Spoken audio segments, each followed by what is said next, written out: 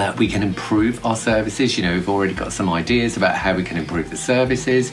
Uh, also, the added benefit for me is all the helplines working together in partnership, the LGBT plus helplines.